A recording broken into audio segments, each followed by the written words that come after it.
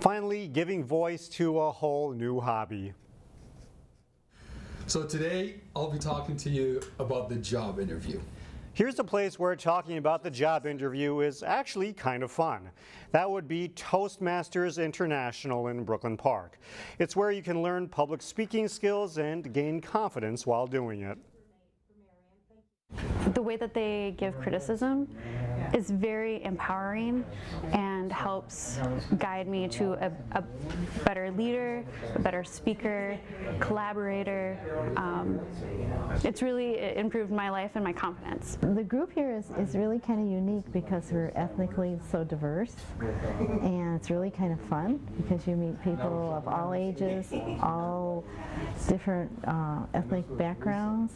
The group even has members where English isn't their first language. If you're interested in giving it a try, Toastmasters meets every Thursday at 6.30 p.m. at Brooklyn Park City Hall.